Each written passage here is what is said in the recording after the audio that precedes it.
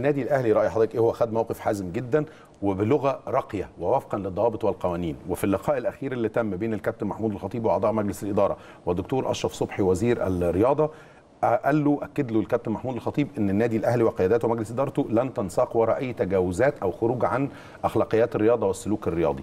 إزاي نوصل للصيغة المرضية يا أستاذ إبراهيم اللي بنتمنى إنها ترجع لملاعبنا وللوسط الرياضي؟ أنا أنا بعتقد يعني ب ب بقليل من التفكير بقليل يعني إحنا في دولة مصر دي دولة. يعني مش إحنا مش مش مش مش الحكاية مش زيطة يعني قليل تتظبط المسألة تتظبط المسألة بتقاليد أحسن حاجة عملها النادي الأهلي ومجلس الإدارة آه، إن هو النهارده فكرة عدم الانسياق لأن ده يبقى إحنا بنهزر كلنا. في في في حد في مكان كان مولع وفيه دخان أنا أنا أحط عليه بنزين أنا كمان وأعمل الكلام ده. لا ده كله.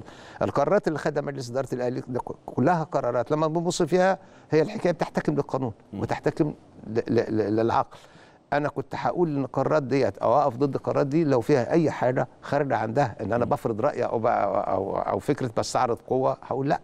مفيش مكان لاستعراض القوه إنما النهارده القرارات كلها بتقول أنا أنتوا قلتوا تعالى هنا جيت هنا. طلعت الدوري ده قلت بتعمل كذا أنا عملت كذا. حددتوا جدول عملت أنا ملتزم. بيه أنا ملتزم بكل الكلام ده ومش هنقبل أي تجاوزات وده هذا حق طبيعي.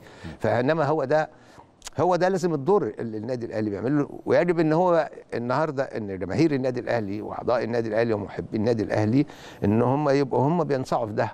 أنا النهارده بحافظ على حقي دون أي تجاوز ودون أن أشارك أو أنزلق أن أتجاوز. هي دي القضية.